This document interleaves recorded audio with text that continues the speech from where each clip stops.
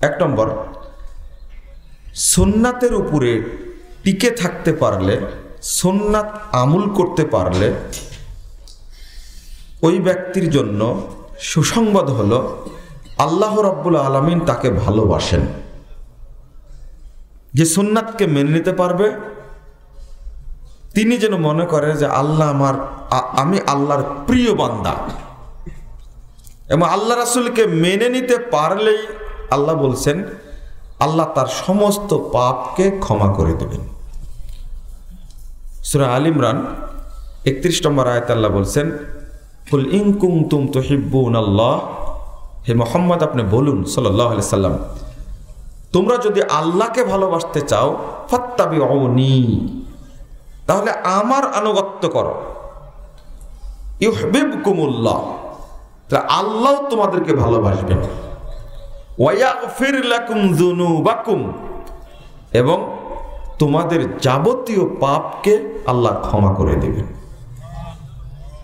রাসুল সাল্লামের আনুগত্য করলে প্রথম ফজিলত হলো, ওই ব্যক্তি আল্লাহর প্রিয় বান্দা হয়ে যায়।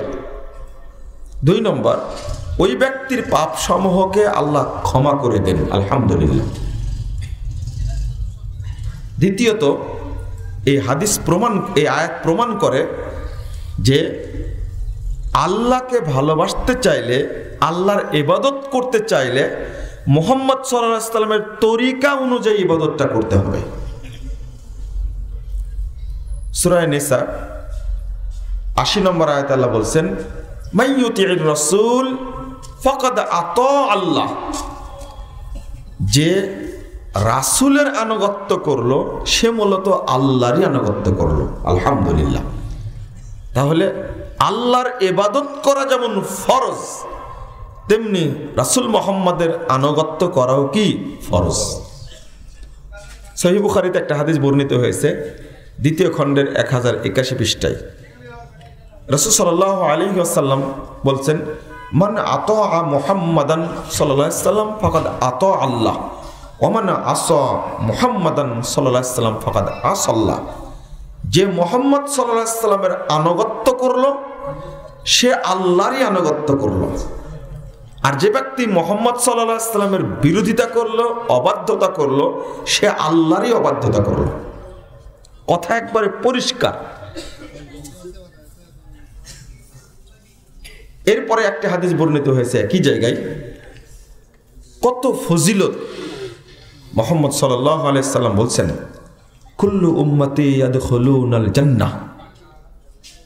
অর্থাৎ আমার প্রত্যেকটি উম্মত জান্নাতে প্রবেশ করবে।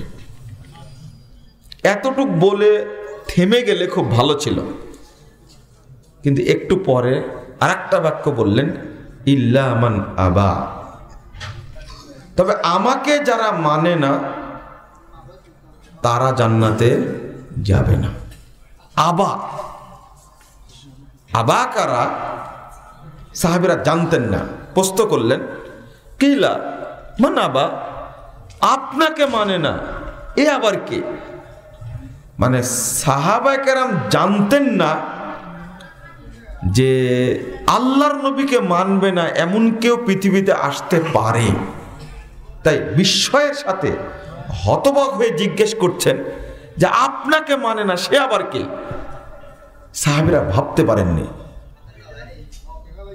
রসদ সাল্লাহ সাল্লাম উত্তর দিচ্ছেন, মান আত আনি দাখালাল জান্না যে আমার আনুগত্য করবে, সে জান্নাতে প্রবেশ করবে। ও মানে আসনি ফাঁকাদ আবা। আর যে ব্যক্তি আমার অবাধ্যতা করবে, সেই আবা, সে আমাকে অস্বীকার করে, সে জান্নাতে যেতে পারবে না। এখন সমস্যাটা হয়েছে এই আমরা কোনটা সোননাথ আর কোনটা বেদাত এটা এখনও চিনতে পারিনি।